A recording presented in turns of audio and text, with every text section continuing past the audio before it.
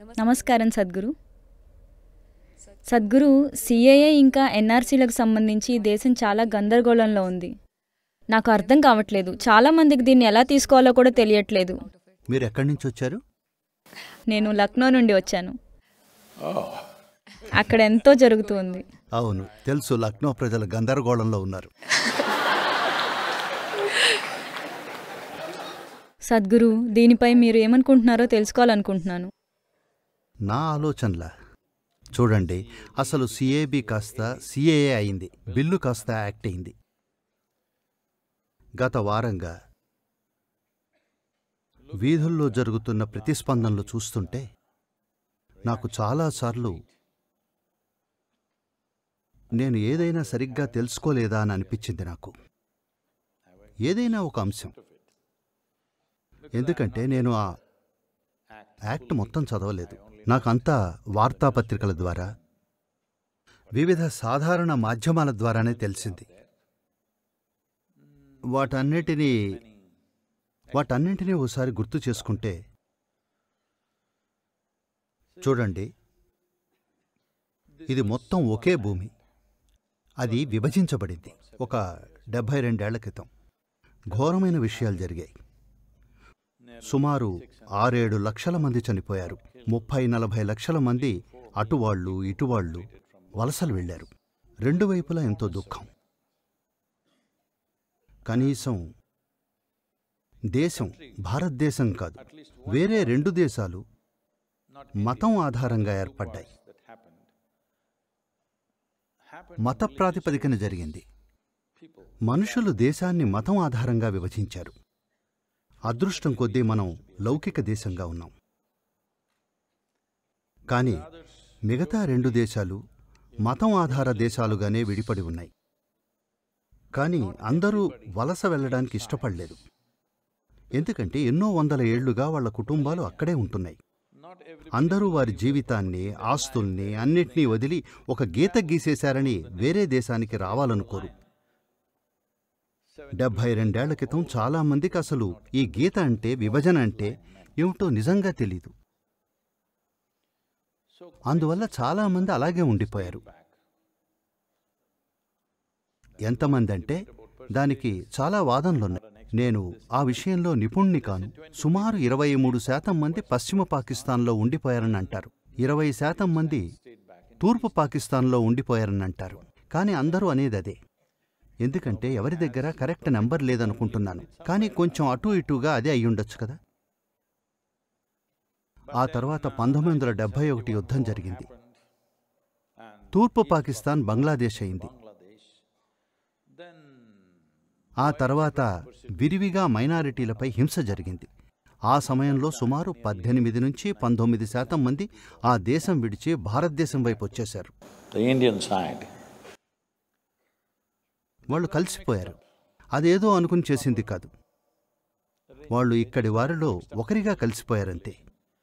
వారిలో కొందరు ఇంకా శరణార్థ శిబిరాల్లో ఉన్నారు. అది పరిస్థితి భారతదేశం వైపు. అటువైపు మరోలా ఉంది. ఎందుకంటే చట్ట ప్రకారం అక్కడ మైనారిటీలపై వివక్ష ఉంది. ఇక్కడ కూడా మనుషులు వివక్ష ఉందని అంటారు కానీ చట్ట ప్రకారం లేదు. వ్యక్తిగతంగా మనుషులు ఒకరిపై ఒకరు వివక్ష చూపిస్తూ ఉంటారు ఎప్పుడు.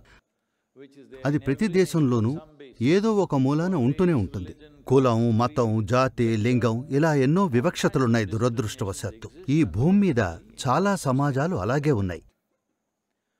మనం కూడా దానికి అతీతులమేం కాదు. మనకి కూడా మన వంతు వివక్ష చూపే లక్షణాలున్నాయి. వివక్ష చూపే లక్షణాలు. కానీ చట్ట ప్రకారం లేవు. చట్టం దృష్టిలో భారతదేశ పౌరులంతా సమానం. ఇది వివాదం లేనిది. There is no two ways about it. ఇక సామాజిక పద్ధతులంటారా? అన్నీ రాజ్యాంగబద్ధంగా ఉండవు. అంతా తమ ఆట తాము ఆడుతూ ఉంటారు అటూ ఇటుగా. ఎన్నో కారణాల వల్ల ఇలా చేస్తూ ఉంటారు. సామాజిక కారణాలు రాజకీయ కారణాలు ఆర్థిక కారణాలు ఇలా ఎన్నో ఉన్నాయి. కానీ సరిహద్దుకి అటువైపు చట్టబద్ధంగానే వివక్షలున్నాయి. అదేమిటంటే ఎన్నో స్థాయిల్లో చట్టబద్ధంగానే స్త్రీల పట్ల ఎంతో వివక్ష చూపిస్తున్నారు. చట్టబద్ధంగానే మైనారిటీలందరి పట్ల వివక్ష చూపిస్తున్నారు. మొన్న అంటే మొన్న ఒక ప్రొఫెసర్కు మరణశిక్ష విధించారు. కేవలం దైవ దూషణ చేసినందుకు. ఆ మతానికి నచ్చంది ఏదో ఆయన ఆన్లైన్లో రాశారు. ఇలాంటివి ఈ దేశంలో నడవ్వు. సరేనా? సామాజికంగా ఏవైనా జరుగుతూ ఉండొచ్చు. అవి ప్రపంచంలో అన్ని చోట్ల ఉన్నవే కానీ చట్టబద్ధంగా జరగవు. నేను బాకు నగరంలో ఉన్నాను అజర్బైజాన్లో. నూట అరవై నాలుగు మంది పాకిస్తానీ హిందువులు బాకుని సందర్శించడానికి వచ్చారు. ఎందుకంటే ఇక్కడ అగ్నికి ఆలయం ఉంది. ఇది దాదాపు ఐదారు వేల సంవత్సరాల పురాతనమైంది. దానిమీద సంస్కృతంలో రాసినవి ఎన్నో ఉన్నాయి. భారతీయులు ఈ అగ్ని దేవాలయాన్ని సందర్శించుకునేవారు. దాన్ని అగ్ని కాశీ అనేవారు. It is called the Agni ఎవరైతే అగ్ని మూలకం మీద సాధన చేయాలనుకుంటారో వారి కోసం ప్రకృతి సహజంగానే అక్కడ ఉన్న వనరుల వల్ల అక్కడ సహజంగా ఎప్పటినుంచో రగులుతున్న అగ్ని స్థలాలు ఉండడంతో వాటి చుట్టూరా ఒక అందమైన ఆలయాన్ని నిర్మించారు. ప్రజలు ఇక్కడకు సాధన చేయడానికి వెళ్తారు. చాలా వరకు మరణ సమయం ఆసన్నమైనప్పుడు అక్కడకు వెళ్ళి గడపాలనుకుంటారు. ఇది ఎన్నో వేల సంవత్సరాలుగా కొనసాగుతూనే ఉంది. ఇప్పుడు భారతదేశంలో మనం ఈ బాకు ఆలయం గురించి పూర్తిగా మర్చిపోయాం. ఈ అగ్ని ఆలయం గురించి. కానీ పాకిస్తానీ హిందువులు ఇంకా దాన్ని సందర్శిస్తున్నారు. నూట అరవై నాలుగు మంది వచ్చారు. ఆ రోజున నేను నూట అరవై నాలుగు ఫోటోలు తీసుకోవాల్సి వచ్చింది. వాళ్ళలో ప్రతి వారితోనూ ఆ తర్వాత కుటుంబాలు స్నేహితులు ఇలా గ్రూప్ ఫోటోలు మొత్తం రెండు వందల ఫోటోలు ఓ సాయంత్రంలో. ఆ తర్వాత వాళ్ళల్లో ఓ యువకుడు బహుశా ముప్పై ఏళ్ళు ముప్పై రెండు ముప్పై మూడేళ్ళు ఉండొచ్చు. నా దగ్గరకొచ్చాడు. ఎంతో దుఃఖంతో ఏడుస్తూ uh, he said, తనకు పెళ్ళైన రెండున్నర సంవత్సరాలకు ఒకరోజు పది పన్నెండు మంది వచ్చారని అతన్ని బాది అతని భార్యను లాక్కొని వెళ్ళిపోయారు. ఆనాటి సాయంత్రం మరొకరితో ఆమెకు వివాహం చేశారు మరో మతానికి చెందిన వారితో. ఆనాటి నుంచి ఆమె అతనితో ఉండాలి. రెండున్నర సంవత్సరాల పాటు అతను ఆమెతో వివాహబంధం గడిపాడు. అతను పోలీస్ కంప్లైంట్ ఇవ్వలేడు కోర్టుకు వెళ్ళలేడు. ఎందుకంటే హిందూ వివాహం పాకిస్తాన్లో చట్టబద్ధం కాదు. దీనికంటే ఘోరం ఉంటుందా? అసలు ఇలాంటి చట్టం ఉందంటే నేనెంతో ఆశ్చర్యపోయాను. నేను దీన్ని పరిశీలించలేదు.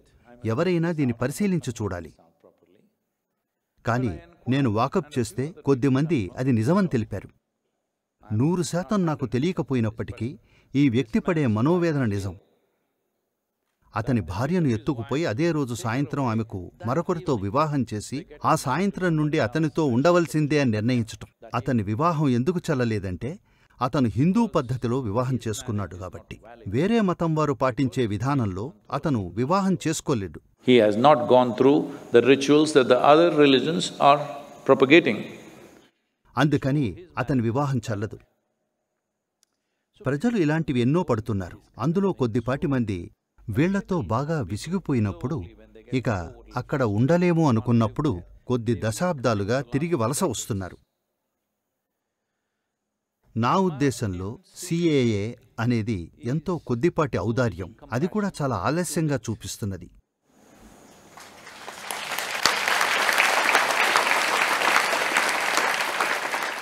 ఎందుకంటే వాళ్ళు అనుభవించిన ఘోరాలు ఎన్నో గణాంకాలున్నాయి. ఇన్ని వందల ఆలయాలుండేవి కానీ ఇప్పుడు ఇన్ని మాత్రమే ఉన్నాయని. ఇవన్నీ ఎందుకంటే ఒక పద్ధతి ప్రకారం ఇదంతా నిర్మూలించేస్తున్నారు.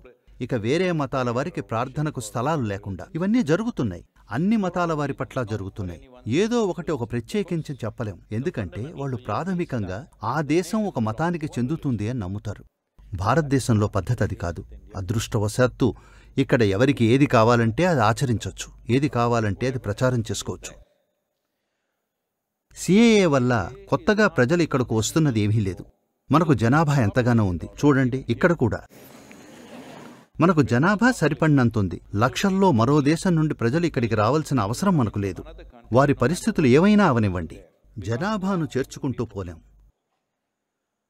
So some cut off date was fixed సరే ఇందుకు కట్ ఆఫ్ డేట్ పెట్టారు.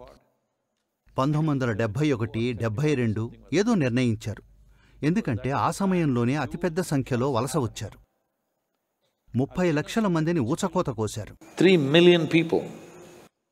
ముప్పై లక్షల హిందువుల్ని బంగ్లాదేశ్కు స్వాతంత్రం వచ్చే ముందర చంపేశారు.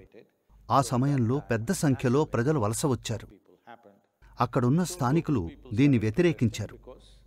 ఎందుకంటే వారి సంప్రదాయం రెఫ్యూజీలుగా వచ్చిన వారి వల్ల కనుమరుగైపోతుంది. అస్సాంలో స్థానికుల కంటే రెఫ్యూజీగా వచ్చిన వారి సంఖ్య ఎక్కువ. అందుకోసం స్థానికులు ప్రతిఘటిస్తూనే ఉన్నారు. డెబ్బైలో జరిగిన అస్సాం మూమెంట్ గురించి మీకు తెలిసిందే.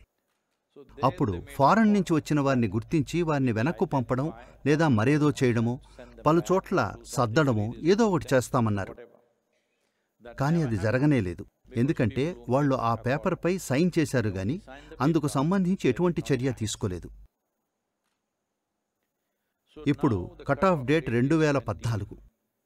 ఎవరైతే ఈ డేట్ కంటే ముందు వచ్చారో వీళ్ళు ఇప్పటికే మన దేశంలో పది ఇరవై సంవత్సరాలుగా ఉంటున్నారు.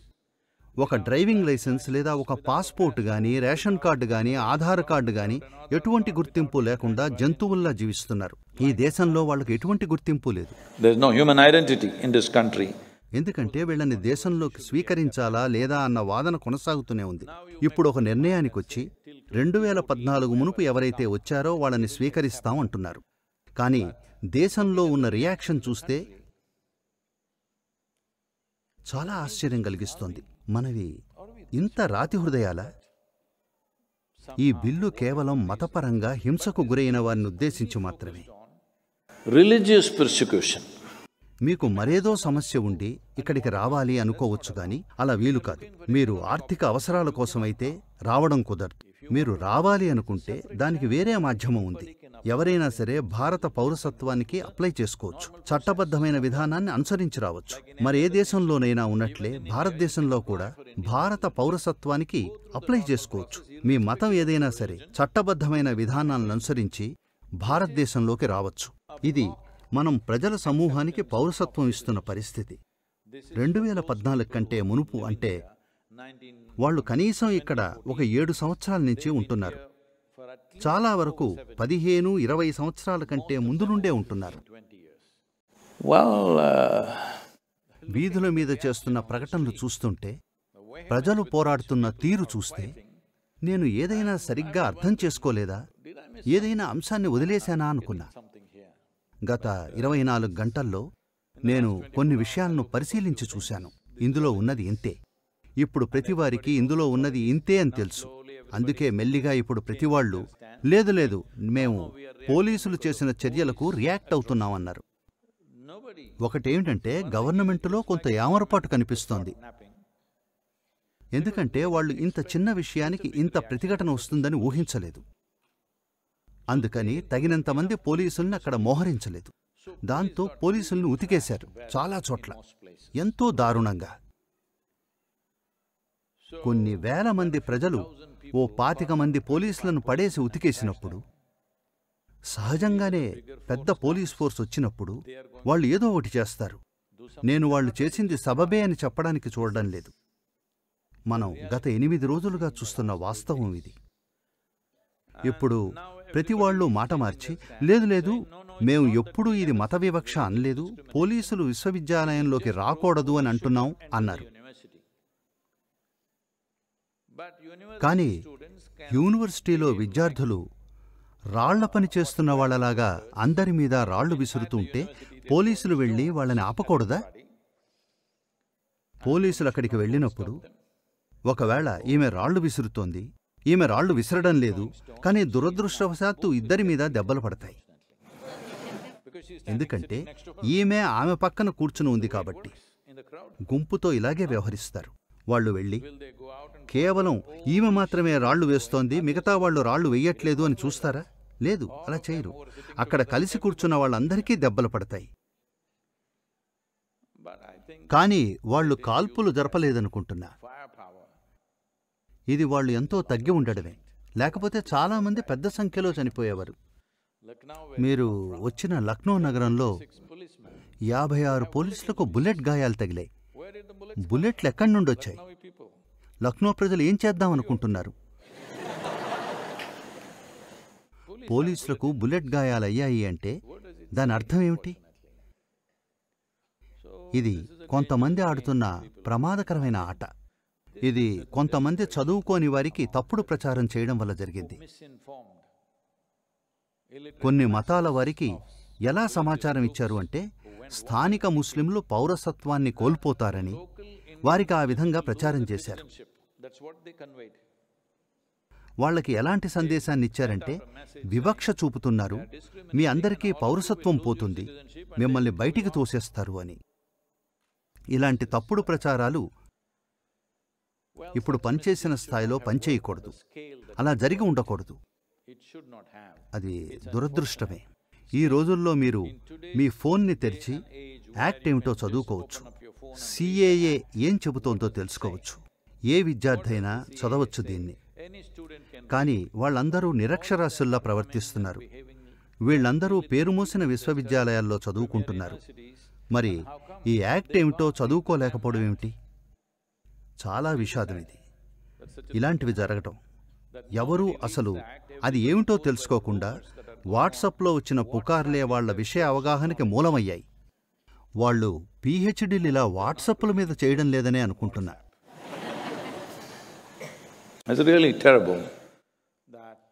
ప్రజా ఆస్తి ఈ విధంగా కాల్చివేయడం పాడు చేయడం సాధారణ వ్యక్తుల స్కూటర్లు కార్లు షాపులు వీటన్నిటినీ ధ్వంసం చేయడం. ఇలా చేయడం ఎందుకు? ఒకసారి గుంపులో ఇలాంటి పిచ్చి మొదలైతే ఎవరికి ఏం చేస్తున్నారో ఎందుకు చేస్తున్నారో అసలు తెలియదు ఓ పద్ధతి ప్రకారం మైనారిటీలకి మీ పౌరసత్వాన్ని తీసేస్తున్నారు అన్న సందేశం పంపించారని నేను అనుకుంటున్నా. దురదృష్టవశాత్తు అది రెక్కలు విప్పుకుని బాగా ఎగిరింది. గత వారం రోజులుగా ఈ అబద్ధం గాలిలో ఎగురుతూనే ఉంది. ఇప్పుడు అది చల్లబడింది. ఇప్పుడు ప్రజలకి అది విషయం కాదని అర్థమైంది. ఇప్పుడు వాళ్ళు ఏదైతే చేశారో అది ఎందుకు చేశారనటానికి ఏవో కారణాలు వెతుకుతున్నారు. చాలా దురదృష్టం ఇది మీరు ఎన్ఆర్సీ గురించి కూడా అడిగారు కదా? నన్ను చిక్కుల్లో పడేయాలని నిశ్చయించుకున్నారు మీరు. ప్రతి దేశంలోనూ ఎన్ఆర్సీ ఉంటుంది. బహుశా ఈ విధంగా జరుగుతూ ఉండకపోవచ్చు. ఎన్ఆర్సీ అంటే ఏమిటంటే ప్రతి పౌరుడు రిజిస్టర్ చేసుకోవాలి. ఈ దేశంలో ఉంటున్న ప్రతి పౌరుడు రిజిస్టర్ చేసుకోవాలి. కోయంబత్తూర్ నగరంలో పెంపుడు కుక్కలన్నింటినీ కూడా రిజిస్టర్ చేసుకోవాలి అని అన్నారు. The dogs which have some ownership. నేను చెప్తున్నది ఏమిటంటే ఇక్కడ ఉద్దేశం ఎన్ని కుక్కలు ఉన్నాయో తెలుసుకోవాలని. లేకపోతే ఏం జరుగుతుందో మనకు తెలియదు కొంతమంది పిల్లల్ని కుక్కల గుంపులు చంపేశాయి. ఇది తెలుసా మీకు? వీధి కుక్కలు స్కూల్ పిల్లల మీద దాడి చేసి వాళ్ళని చంపి తినేశాయి. అప్పుడు వాళ్ళు ఒకళ్ళు ఏం సూచించారంటే ఎవరికైతే పెంపుడు కుక్కలు ఉంటాయో వాటికి ఒక గొలుసు వేసి వాటిని రిజిస్టర్ చేసుకోవాలని. అవి పుట్టినప్పుడు పోయినప్పుడు రిజిస్టర్ చేయాలి. మనం ఈ విధంగా కుక్కల్ని కూడా రిజిస్టర్ చేయాలి అని ఆలోచిస్తున్నప్పుడు ఈ దేశంలో ఎంతమంది ప్రజలు ఉన్నారో తెలుసుకోవాలి అనుకోవడం ముఖ్యమే కదా? వీళ్ళందరూ ఎక్కడి నుంచి వచ్చారు ఇక్కడే పుట్టారా? లేకపోతే బయట నుండి వచ్చారా వీళ్ళ పూర్వోత్తరాలేమిటి? ఇవన్నీ ఒక దేశం తెలుసుకోవడం ముఖ్యమే కదా? మీరు సజావుగా పరిపాలించాలి అనుకుంటే? కానీ కొంతమంది అది కూడా వివక్ష అని అనుకుంటున్నారు. ఇది అందరూ చేయవలసిందే. మీరు నేను కూడా రిజిస్టర్ చేసుకోవాలి. మీకు ఎన్నో ఆప్షన్స్ ఇస్తున్నారు. మీ బర్త్ సర్టిఫికెట్ ఇవ్వండి అని అడుగుతున్నారు. ప్రజలు మా దగ్గర బర్త్ సర్టిఫికెట్ లేదు అంటే సరే స్కూల్ సర్టిఫికెట్ చూపించమంటున్నారు. లేదు నేను ఎప్పుడూ స్కూల్కి వెళ్ళలేదు అంటున్నారు. సరే రేషన్ కార్డు చూపించమంటే అది లేదంటున్నారు. ఆధార్ కార్డు చూపించండి అంటే అది లేదు. ఓటర్ కార్డు చూపించమంటే అది కూడా లేదు. సరే అయితే అసలు మీరు ఎవరు Then who the hell are you? సరే మీ దగ్గర ఇవి ఏవీ లేనట్లయితే కనీసం ముగ్గురు సాక్షుల్ని ప్రవేశపెట్టండి. మిమ్మల్ని కొంతకాలంగా ఎరిగి ఉన్నవారు. లేదు నాకు అలాంటి సాక్షులు లేరు. Who are you? కారణాలేమిటో తెలియదు కానీ నేనేమనుకుంటున్నాను అంటే ప్రభుత్వం దీన్ని ప్రజలకు సరిగ్గా వివరించడంలో విఫలమైంది. లేకపోతే నాకు వీటితో ఎలాంటి సమస్య కనిపించడం లేదు. కాకపోతే ఇది ఎలా ప్రచారం చేస్తున్నారు అంటే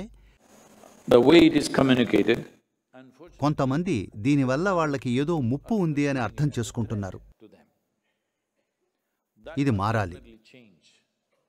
ఎవరైనా ఏదైనా బెదిరింపులకు పాల్పడితే ఎవరైనా ఈ రెండిటి గురించి ఒకటేమో చాలా ఆలస్యంగా అందిస్తున్న ఔదార్యం. నా ఉద్దేశంలో ఇది చాలా కాలం క్రితమే జరుగుండాలి. మరోటి దేశానికి అత్యంత అవసరమైంది. ప్రతివారు రిజిస్టర్ చేసుకోవాలి. చూడండి ఇక్కడ ఎంతో మంది ఫారినర్లు ఉన్నారు వీళ్ళెవరో మాకు తెలియదు